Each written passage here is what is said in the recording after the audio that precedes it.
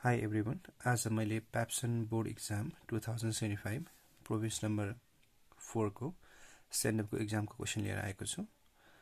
यो एक्सेसन due to ग्राभिटीसँग सम्बन्धित question हो। Question number fifteen the radius of Jupiter is eleven times the radius of the earth जुपिटरको radius अर्थको भन्दा एघार गुणा छ and the mass of Jupiter is three hundred nineteen times the mass of the earth. जुपिटरको mass चाहिँ अर्थको भन्दा three hundred nineteen times छ। Calculate how many times the acceleration due to gravity on the surface of Jupiter is more than of the surface of the earth. जुपिटरमा जुपिटरको acceleration due to gravity अर्थको सर्फेसभन्दा कति times बढी छ? अब हामी हिसाबमै जाउँ। गिभनमा अब हामीले के लेख्न सक्छौँ त? मास अफ जुपिटर जसलाई हामी capital M small capital M J मानौँ। Is equal to three nineteen times mass of the earth M E मानौँ। त्यो भयो भने symbol wise M J equals to three hundred nineteen into M E हुन्छ। Mass three hundred nineteen times छ। त्यसरी नै radius of the Jupiter R J मानौँ। त्यो चाहिँ eleven times radius of the earth दिएको छ। त्यसलाई इक्वेट गर्दा R J equals to eleven times R E equation two हुन्छ। अब यसमा यस्तो क्वेसनमा हामीले भाइ बहिनीहरू भ्याल्यु हाल्नु पर्दैन।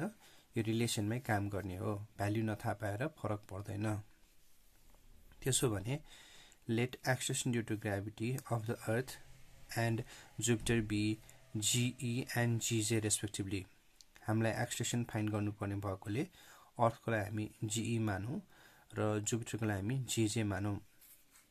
अब भाइ बहिनीहरू यसमा मुख्य चाहिने म्याथमेटिकल फर्मुला भनेको G is equal to G M upon R square G is equal to G M upon R square हो।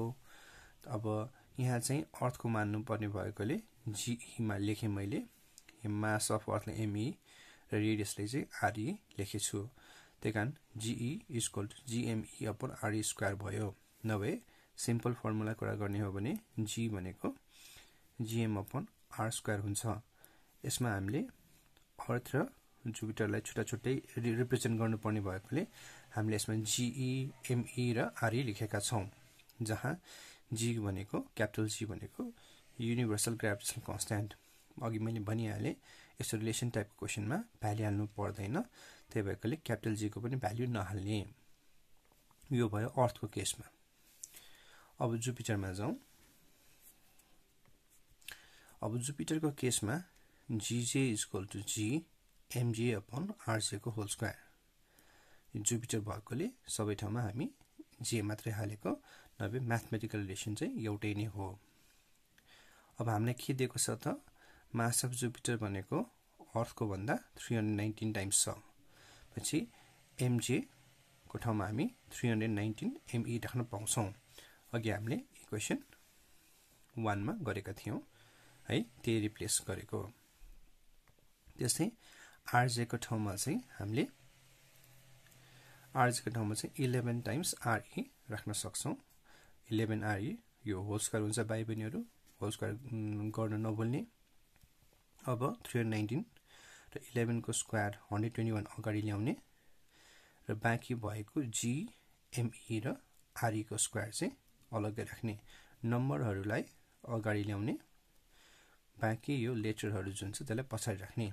त्यसो गर्यो भने जिजे भाइ बहिनीहरू जिजे हाम्रो यसलाई सिम्प्लिफाई गर्दा थ्री हन्ड्रेड नाइन्टिनलाई वान ट्वेन्टी वानलाई डिभाइड गर्दा two point six three six आउँछ। त्यसलाई हामी टू पोइन्ट सिक्स फोर लेख्न सक्छौँ। अनि यो भनेको भाइ बहिनीहरू हाम्रो इक्वेसन थ्रीबाट के हो त? G M E upon R E square G M E upon R E square G E हो। यसको ठाउँमा जिई रिप्लेस गर्न पाउँछौँ। यो चाहिँ हाम्रो फ्रम इक्वेसन थ्री इक्वेसन थ्रीबाट आएको। भनेपछि फाइनली हामीले के देख्यौँ भन्दा जुपिटरको एक्सेसन टु ग्राभिटी अर्थको भन्दा two point six four times छ। है। अब लास्ट एक्चुली फेरि पनि भन्छु म। यस्तो रिलेसन टाइपको क्वेसनमा नभए हामीले न त रेडियसहरूको भ्याल्यु न त क्यापिटल जीको भ्याल्यु न त क्यापिटल एमको भ्याल्यु राख्नुपर्छ। मात्र रिलेसन सब्स्टिट्युट गर्ने नम्बरहरूलाई अगाडि ल्याउने सिम्प्लिफाई गर्ने अनि त्यसपछि त्यो भनेको जुन बाँकी रहन्छ पार्ट यो लेटरवाला पार्ट त्यो हाम्रो माथि आइरहेको हुन्छ। त्यसको ठाउँमा रिप्लेस मात्र गर्ने है। यति गरे पुग्छ। भनेपछि एज अ कन्क्लुजन हामीले लेखौँ। Hence the acceleration gravity of Jupiter is two two point six four times more than on the earth है? जुपिटरको एक्सेस ड्यु टु ग्राभिटी चाहिँ अर्थको भन्दा two point six four times बढी छ। आशा गर्दछु कि तपाईँहरूले बुझ्नुभयो होला। नबुझेको खण्डमा फेरि कमेन्ट बक्समा गएर सोध्न सक्नुहुनेछ। Thank you